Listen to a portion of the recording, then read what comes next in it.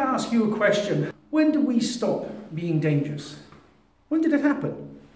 Do you think because you stand there and say, I do karate, I do taekwondo, I do kung fu, at any particular point, that any aggressor is going to step back from you? Not really.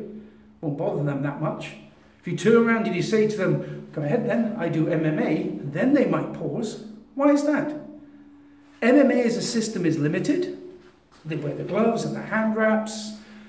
But as a martial art, you should be teaching in like an unlimited section. Headbutts, gouging, grabbing the throat. Your students need to be protecting themselves in ways that are actually relevant, not, okay, you grab the lapel and the other person is throwing little punches like this, and then you do this and you do this. Because that's not how it happens. Human beings, particularly men in particular, drag you through space to show their dominance on you, to keep you off footed, like this, or hockey punching the crap out of you. That is how you need to be teaching your techniques. This is how you need to be making certain that your students who are being awarded high grades feel safe. They can protect themselves and their loved ones. The double psychological blow that comes from the fact that A, you lose in a street fight. Some fat PS4 playing, pizza eating, socks and sandals twat gives you a kicking at a cash machine because you, he thinks you jumped line or he wanted to jump line. And you're laid on the floor in a fetal position while he stamps about on you, right? That is that, that has a serious psychological blow to you as a person, male or female, right?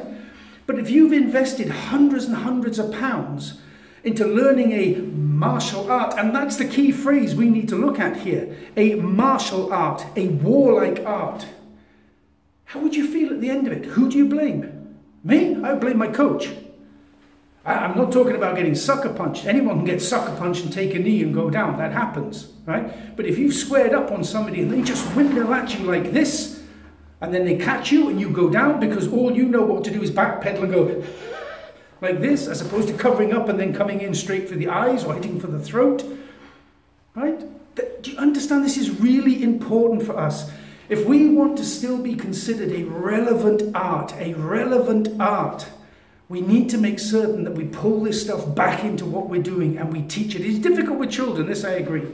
Okay? But we need to pull this back into our system. So if you are doing a sports stuff, which is fine, do, do, do whatever you want to do from that. You must be getting this stuff done because at the end of it, it's about a go to technique when you're under threat. Rant over. Yeah, for once, for a little bit. Okay? Oss.